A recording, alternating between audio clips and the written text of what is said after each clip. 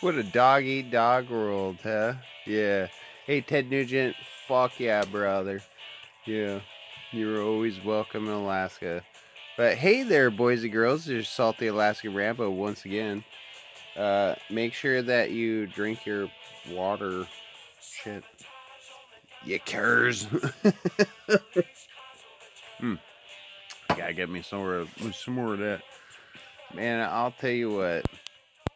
This fucking clown show fucking government bullshit. Okay, while everyone was all distracted by Tay Tay and Kelsey fucking Grammer. Oh, not Kelsey Grammer. Oh, that Kelsey, that Super Bowl dude. Yeah.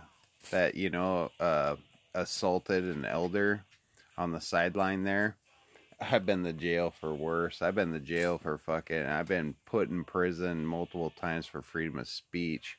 I've been put in prison for uh, places I wasn't even fucking at and had proof and receipts of being other places, you know, like to get away from fucking stupid assholes and stupid fucking little bitches and all that shit in the past. But regardless, so they passed that like 95 billion dollar bill of aid to Ukraine and Israel and it's like hey hey guess who get uh, guess who's getting all that money?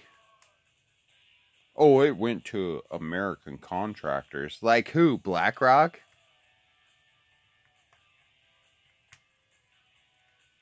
Hmm. Hmm. Well this Indian here says that's bullshit. Just salty Alaska Rambo out.